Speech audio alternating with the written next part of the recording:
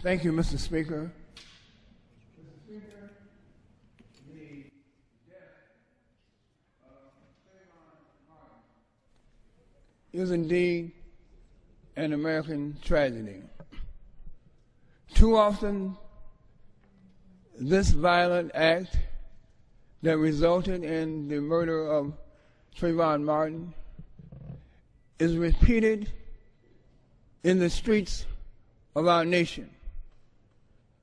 I applaud the young people all across the land who are making a statement about hoodies, about the real hoodlums in this nation, particularly those who tread on our laws wearing official or quasi official clothes. Racial profiling has to stop, Mr. Speaker. Just because someone wears a hoodie does not make them a hoodlum. The Bible teaches us, Mr. Speaker, in the book The of Micah 6, 6 member eight, will sus- the member will suspend. these words, the, the member will these sus- words, he The has member- shown you, O man, The member will What is suspend. good? The chair must what remind does members not, of what does the 5 Lord require 17. you, but to do member is out of justly and to love mercy and to walk humbly with your God. And in the New Testament, Luke 4, 4, 18 to 20 teaches us these words.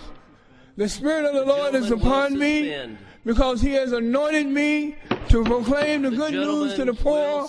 He has sent me to proclaim freedom for the prisoners Member and the recovery of sight to the blind, to set the oppressed free. I urge all who hear these words to heed these lessons. May God The bless is no Martin's recognized. soul, his family. The member is no longer recognized.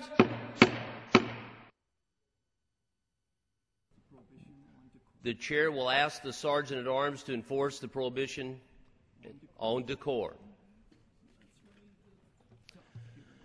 The chair must remind members that Clause 5 of Rule 17 prohibits the wearing of hats in the chamber when the House is in session. The chair finds that the donning of a hood is not consistent with this rule.